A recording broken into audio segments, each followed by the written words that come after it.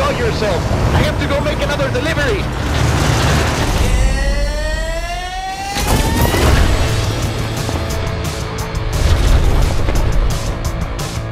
Drop zone approaching.